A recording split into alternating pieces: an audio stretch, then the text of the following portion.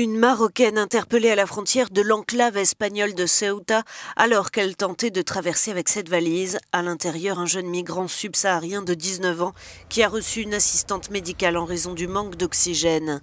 L'interpellation aurait eu lieu vendredi dernier, soit deux jours avant l'assaut organisé de plus d'un millier de migrants qui ont tenté de traverser la clôture de 6 mètres de haut sur cette même frontière entre le Maroc et l'enclave espagnole.